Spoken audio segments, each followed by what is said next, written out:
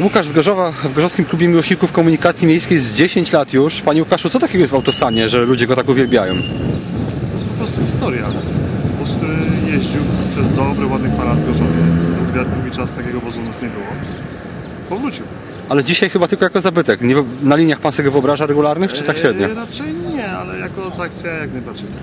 A co takiego jest w autobusach i tramwajach, że ludzie potrafią przyjechać z dalekiego miasta, żeby w innym sobie chwilę pojeździć? To trzeba poczuć, tego się nie da wytłumaczyć. To jest tak samo jak zbieranie znaczków, tylko ten, kto zbiera znaczki wie, o co w tym tak naprawdę chodzi. No i trochę większe macie te znaczki chyba, prawda? Zgadza się.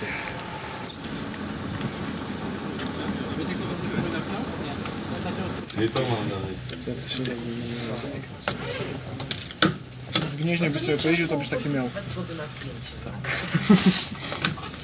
Do Gorzowa na y, przejazd psiukaczem po wioskach przyjechali też poznaniacy, Marcin i Maciek. Panowie, czemu wam się chciało tłuc z Poznania do miasta po to, żeby pojeździć autobusem po wsiach? Na ten autobus. To taki wyjątkowy faktycznie pojazd? Tak. Dlaczego? Jest to pełna historia polskiej komunikacji.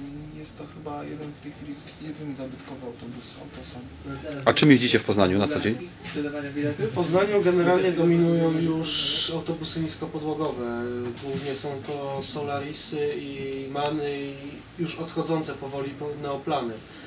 Y, Autosany H9 35 w Poznaniu jeździły tylko przez krótki okres, później zostały, y, później zostały tylko w, u przewoźników obsługujących linie podmiejskie.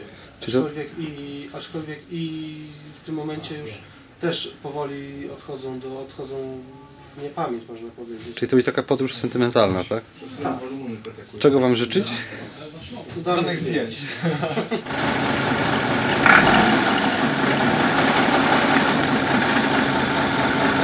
Na przejazd autosanem do Gorzowa przyjechał też y, bliski znajomy z południa, z Zielonej Góry. Witam serdecznie.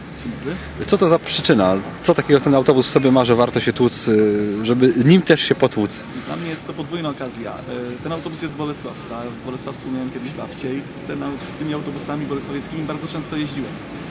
No i po prostu wspomnienia, wspomnienia z, z tym związane. Czyli jest takie prawdopodobieństwo, że jako dzieciak jechał pan tym autobusem? Najprawdopodobniej tak, bo interesuję się komunikacją od małego chłopca, także już jako ten kilkuletni chłopiec tymi autobusami po Bolesławcu sobie jeździłem, więc najprawdopodobniej, no praktycznie na, na 100% tym autobusem też. Być może gdzieś jeszcze odnajdę jego zdjęcia i stąd dlatego też moja wizyta tutaj. Jak miłośnik Zielonej Góry ocenia robotę miłośników z Gorzowa? No jestem pod wielkim wrażeniem. Jestem pod wielkim wrażeniem. Bardzo się cieszę, że chłopakom z Gorzowa udało się ten autobus kupić.